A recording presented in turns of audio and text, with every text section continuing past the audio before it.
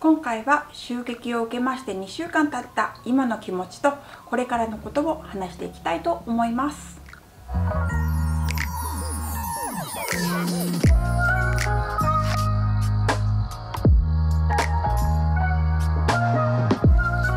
改めまして皆さんこんにちは。お元気ですか？ゆなデリーです。はい。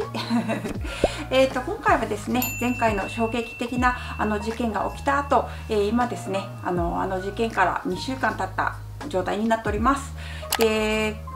今はですねあのとても YouTube の動画を作る状態ではないっていうことで、えーと、お休みさせていただいてるんですけれども今の状態のあの2週間経った今の状態と今の気持ちこちらの方をねあのドキュメンタリーとして、えーと、ロック、うんと、のビデオにね残しておくことでこれからねあの子どもたちに何かあった場合こういうようなお母さんとお父さんは対応したんだよっていうことをあの残していきたいと思います。とともにですね皆さんにこういった状況がもしも起こった場合、えーとこうしたこうすることもできるんだよってことが何らかのねあの助言になると嬉しいと対応の仕方をね考えていますので、えーと、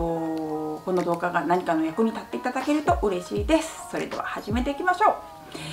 えーと、まずはですね、えー、2週間後の今の気持ちこちらの方ですね、えー、1週間目、えー、まずその襲撃された時期時ですね。あまりにもショック、えーと、こういうことが自分の、あのー、人生の中であるっていうことはまず想定していませんでしたのでショックを受けましてさてどうする？これからどうするっていうことをずっと主人と話し合ってきました。でその時は何て言うのかしら？あの興奮している状態っていうんですかね。あのどうしようどうしようっていう気持ちの方がいっぱいであまりにですねあの怖さっていうものをと感じないような状態ではあったんですけれどもこの1週間を過ぎたあたり、えー、家を直したりとかですねあの警察の方と話をしたりそんなあの法廷のここれから話していきますけれどもその状況を得てなんとなくですねこうこの家に住んでいるのがとてもあの安心できないと言いますかあのリラックス本来であれば家の中でリラックスするはずなのにあのリラックスできずにあの不眠とかですねあの子供たちもこう動揺している状態で1人で寝れないっていう状況の方も続いていまして、えまあ、結論から言いますとこの家を引っ越すことにしました。と本来はですねこの家を買った時に、え一番下の11歳の子供ですねこちらの方が高校を卒業するまで住む予定で、えーと、あと8年あるんですけれどもその間にねあの住宅ローンの頭金を貯めたりとかですねそういうような計算ずっと準備をしていたんですけれども、まあ、その準備は全く意味がないような状態になりましてこれを引っ越すっていうことを決断しました。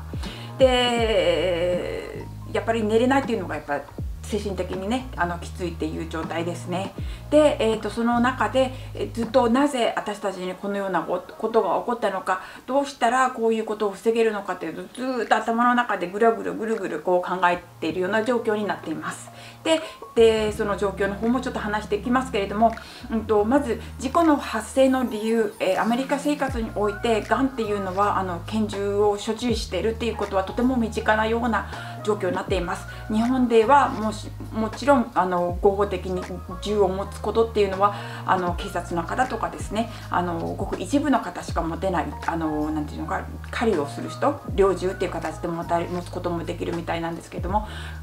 かなりきついですけど、まあ、アメリカっていうとはアメリカの社会では簡単に銃がこう持てれるっていう状況になります、えーと、そういう状況でですね一番最初に考えられるのはうちの近所ですね。この事故があってから近所の人と話すようなことがありました。その中でですねやはりあのドラッグのあの密売者っていうのがこの近所に結構住んでいるんではないかというこれは噂なんですけれども全くあの何て言うのかしら革新的なあの理由っていうの証拠っていうのはないんですけれどもあの家もそうだよあの家もそうだよって教えてくれる人が結構いましてそのあの住所とその密売している方の中でのトラブルに巻き込まれたんではないかっていうようなことが一番最初に考えられるっていうことです。あとはあと前回のあの襲撃した直後にあの録画した動画の中でも言ってたんですけれどもあのこのコミュニティはですねあのアジアの方がかなり住んでいらっしゃいます。あともうほとんどね他うんと黒人の方、まあ、いますけどもちろんいるんですけれどもあの白人の方黒人の方を見るようなことではなくてインド人とかあとは本当一般的アジアのあの中国人日本私は日本人ですよねでコリアの方とかあとはインドネシアの方そういったアジアのコミュニティ学校この辺は住んでいまして今言われているアジアンヘイトクライムっていう状況でそういう人たちをランダムにこう攻撃していくような事件があちらこちらで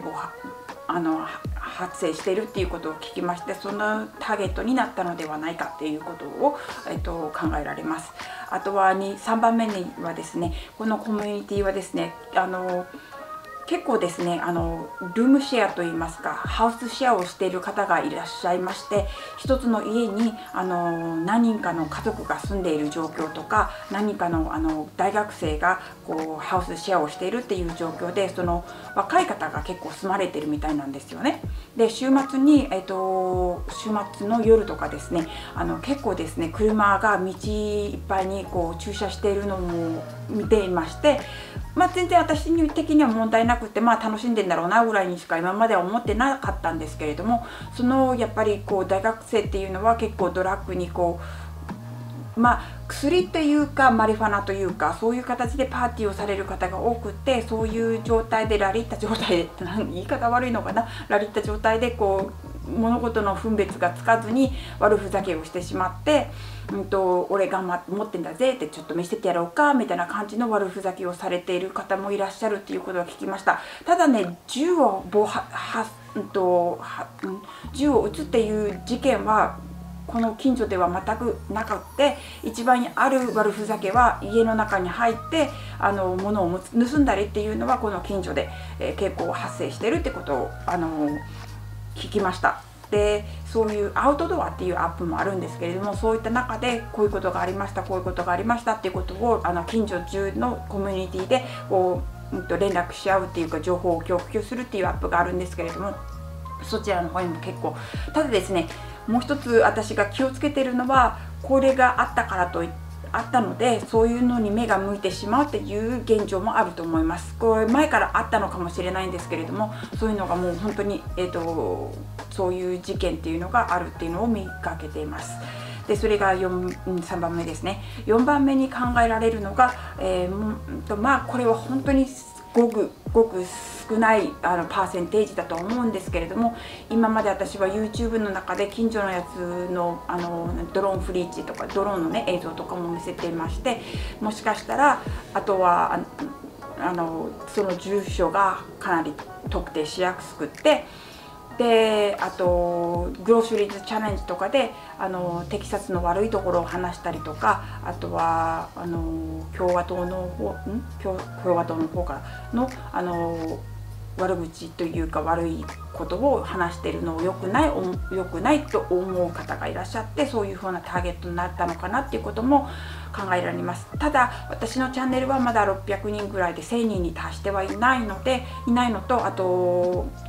とパーセンテージもね日本のパ日本から見てくだされてる方が70%ぐらいであと30 10%ぐらいがアメリカのに住んでる方が見られてるっていうことを見受けますので見受けるのとあと200ぐらいのねあのビューになってますのでそんなそれが原因でこの襲撃をされるっていうことはとにかく低いパーセンテージではあるとは思うんですけれどもなきにしもあらずっていう感じのあのことを考えて、えー、これからねビデオする作る時はこの近所を取る自分のね住所が特定されるような場所を作るのは控えていった方がいいのかなっていう感じを受けています。それがまあ事故発生の理由っていうことで考えて4つぐらいね考えた状態になります。ごめんなさいねカンペ見ながらやります。あとはですね対応です。えーと、警察の方に対応してもらったっていうのがあのもちろん警察に通報して、えーと、現場検証っていう形でしてもらってその後ですね警察署の方警察の方にも行きました。でその対応っていうのがかなりですねあの自分的にはこうクエスチョンマークっていうもう本当になんでっていう感じなんですよ。まだ私は日本に生まれて日本に育ってますのでそういったあのけあの日本に育ってますけど、まあ、警察のお世話になることで今までなかったのであのこうコンペアソンっていうあの比較することはできないんですけれどもとにかく対応はもう雑です。えーと、やはり怪我人は出てなかったですしもちろん死人も出てませんので、えー、大したことないっていうような対応をずっと受けています、えー、警察の方にですね何かあったらこの電話番号に電話して被害の方がもっとね被害とあのが大きかった場合、えーと、一番最初にあのあの襲撃された時には家だけのダメージだと思って車にもちょっと穴は開いてたけれども車の方にはダメージはそんなに少ないのかななんて思ってたんですけれども結局ですね車のイリゲーターっていうやつがもう破損してましてもう全てそう総取り替えっていう方でえーと、今だにですねどのくらいの値段になるのかっていうのがわからない状態で、えーと、本当に今車がありません。車をね修理に出しているっていうことで2週間でもまだこれからの目処が立っていないっていう状況になってましてあとインシュランスの保険会社の方とのやり取りでも、うんとずっと対応が遅れていましてこの家を売りたい状態ではあるんですけども直さないといけないしその分のお金っていうのをどうやってやりくりするのかっていうことで問題をずっと思っている思っている状態ですね。やはりあの何かしらのあの人為的被害っていうのがない限りそういった形でのあの対応はしてもらえないっていうことが今回よく分かりました。あとはですねあの周囲の反応なんですけれども主人の職場の方とか友達とかの範囲もまあ残念だったねってアンラッキーだったねぐらいの感じなんですよ。で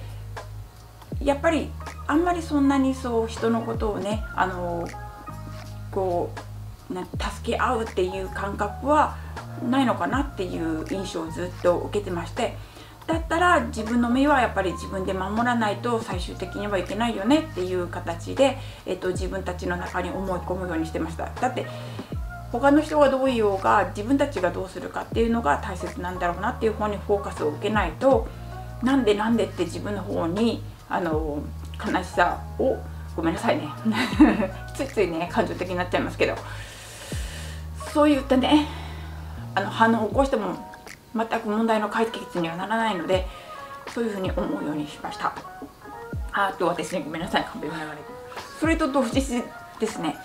このテキサスの法律がまた変わる可能性が出てきました。4月の16日にですねえっと銃を持つにはライセンスが必要なんですよね。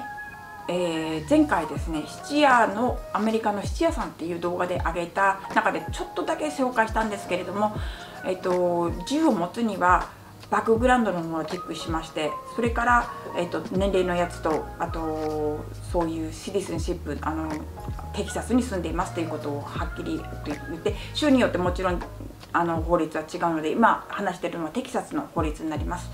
でバックグラウンドチェックをして、えーと、銃を持っていいよっていう形になってたんですけれどもこの16日に一応ハウスっていうあのガバメントハウスというと下院議員下院っていうところからあと上院の方に法律の改正のやつがあの通されました。えーと、もしかするとこれからですねその上院って言われてるセンあのセメントっていうところで話し合いをされてこの法案が通ったならばテキサス州の中ではライセンスを持たずに銃を持つことができます。それを今通らないように私の中では祈っていますけれどもまあ、あのテキサスっていうのは銃がすごく大切にされてカーボーイのね州なのであの銃を持ちたいと思っている方たくさんいらっしゃるみたいなんですよ。でそういった法案の方が今通りかけているっていう状況でますます自分の身は自分で守らないといけないっていうような状況があるっていうことでこれから、えーと、引っ越しをするにあたって動画をねこれからまたねあの何かしら、まあ、私はあの不動産関係で働いたこともないですし家を売ったのはたった1回、えーと、ペサコラそのフロリダからテキサスに移ってる時の経験しかありませんけれどもこれが2回目の経験になります。その経験をね皆さんに伝えることでもしアメリカに住むことがあってアメリカでそういう家を買い替える方のための動画をこれから作っていきたいと思いますけれどもとにかくコミュニティの大切さ、えー、家を買うっていうのはもちろん家の内見中のどんだけの広さがあるとかどれだけ2階建てなのか1階建てなのかとか新しいキッチンのやつが、えっと、エクエメントっていうそのねあの家電がついてるのかとかっていうのはまあ重要ではあるんですけれどももうこれはもう本当にコミュニティが一番大切どこに住むかっていうのが一番大切になってるってことがもう今回のことで本当に本当に本当に分かりました。なので、えーと、それを気をつけながらそのコミュニティで今あのお家を探しているような状況になります。あとはその修繕の方のね目処が立ちましたらすぐにこの家をマーケットのあの売り手の市場の方にあのアップしていきたいと思っております。で引っ越す理由としましてはまあそういうあのコミュニティいいあの安全なコミュニティを見つけるっていう場所、まあ、100%安全とは言えないんですよ。アメリカに住んでいるので銃はどこにでもやっぱり散乱してるでしょうしドラッグの密売者の方もたくさんいらっしゃるし、えーとまあ、アジアヘイトクライムの方もたくさんいらっしゃると思いますのでどこに行ってもそれは問題はあると思うんですけども今の時点この場所よりはもうちょっと気持ちが収まる場所を見つけたいということで今回引っ越しするっていうのとあとは新学期ですね、えーと、アメリカの新学期が始まるのが8月からここのテキサス州では8月から始まるんですけれどもその前にこの家を決めて引っ越して全てあの全部整えた状態で新学期を迎えることができるように、えーと、準備しているっていうことでちょっと時間がないかなっていう形で、えーと考えている状況になっております。やっぱりですねあのこのチャンネルはですねアメリカに実際暮らしています私が、えー、皆さんにですねネットとか知人とかですねあの得た情報を皆さんにこう届けることでこうもしアメリカに住まれ短期的に住まれる方でも長期的に住まれる方来たばっかりの、ね、方とか右も左もわからないという方に何かしらの情報を届けてるっていう状況のチャンネルになっておりますので、えーと、それを活かせていけるように、えー、頑張っていきたいと思っています。で、えーと、私の気持ちの方もね皆さんの方に伝えさせていただきました。えー、よろしかったらですねあのチャンネル登録、えー、グッドボタン、えーと、あと notification bell、うん、その他もろもろですね していただけますとこのチャンネルの方をサポートしていただけるとととても嬉しいです、えーと、これからもね頑張っていきます。まだ今の時点ではあの動画の方をアップすることはできませんけれどもこれから自分のできること,、えーと、をどんどん上げていきます。あとまた質問事項がありましたらまたコメントの方に書いていただけるとあの次のねビデオ作りのためのあのー